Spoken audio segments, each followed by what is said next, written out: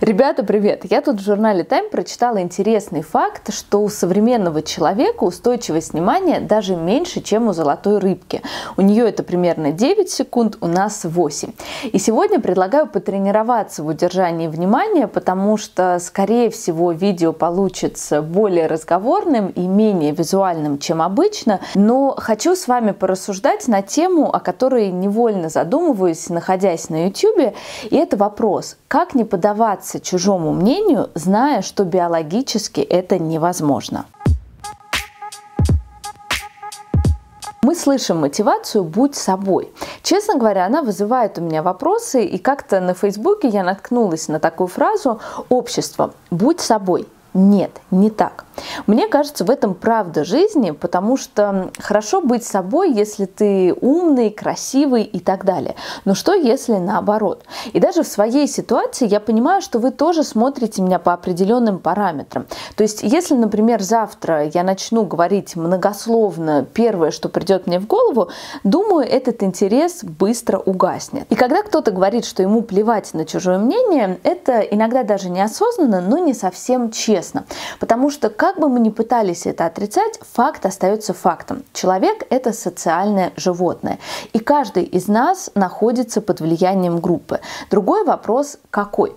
То есть мне может быть все равно, что обо мне думает мое окружение, если это окружение не является моей референтной группой, то есть группой, на которую я ориентируюсь. Но все равно есть какая-то группа, которая является для меня стандартом, чье мнение мне важно, и эта группа будет на меня влиять, даже если сама себе я в этом не признаюсь. Я сейчас читаю новую книгу Роберта Грина. Многие вспомнят его по книге «48 законов власти». И вот совсем недавно у него вышла новая книга «Законы человеческой природы». Я вообще люблю такие большие фундаментальные книги о человеке, так что сейчас ее смакую и как раз читаю главу про влияние группы. И Грин пишет, что проблема не в том, что мы находимся под влиянием группы, а в том, что мы это отрицаем. И поэтому первый шаг к тому, чтобы дистанцироваться от мнения группы, это признать, что мы находимся под ее влиянием. Вопрос, что делать дальше.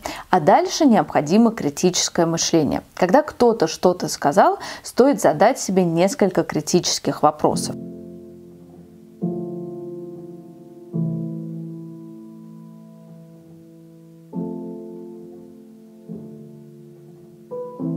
Первый, кто это сказал, это человек, который меня хорошо знает или незнакомый мне человек. Важно, разделяю ли я ценности этого человека, потому что если я их не разделяю, то зачем тогда мне ориентироваться на его мнение?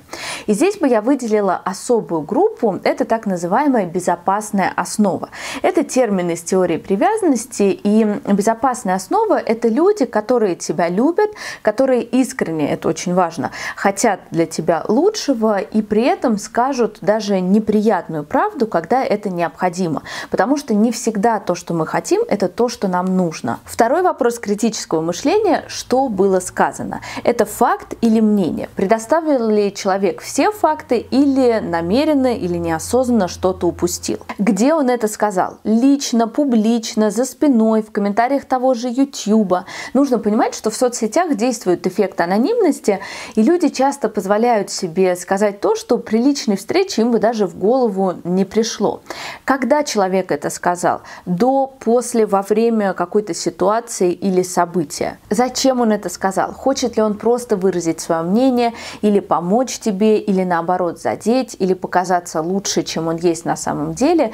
И как он это сказал? По-доброму или озлобленно? Нейтральными или эмоционально заряженными словами?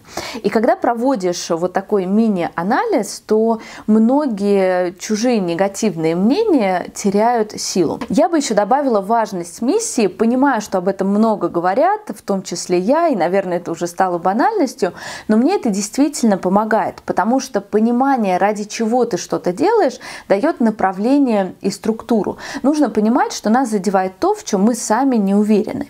Меня, например, никогда не задевали комментарии типа «плохой макияж» или «грязные волосы», но поначалу задевало, когда кто-то писал что-то из разряда, ну что вы ерундой занимаетесь, сидите какие-то книжки читаете.